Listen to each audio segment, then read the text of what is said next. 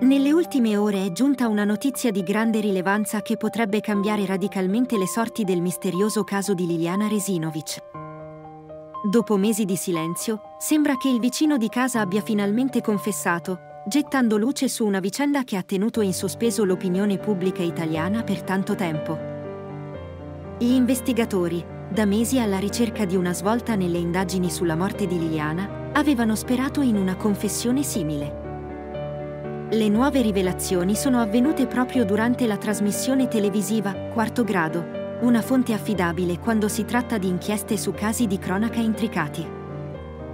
La confessione del vicino di casa, Fulvio Colavero, ha sconcertato il pubblico televisivo. Colavero era il vicino di casa di Liliana al momento dei fatti e ha finalmente deciso di rompere il silenzio, rivelando dettagli finora sconosciuti agli inquirenti.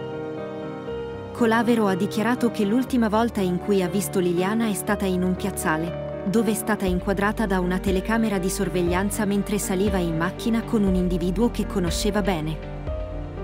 Questo dettaglio cruciale non era emerso nelle precedenti indagini. Dopo quel momento, la donna scomparve misteriosamente fino al ritrovamento del suo corpo. Secondo il vicino di casa, le evidenti tumefazioni sul lato destro del volto, riscontrate durante l'autopsia, indicano che Liliana potrebbe essere stata aggredita e colpita dal suo aggressore.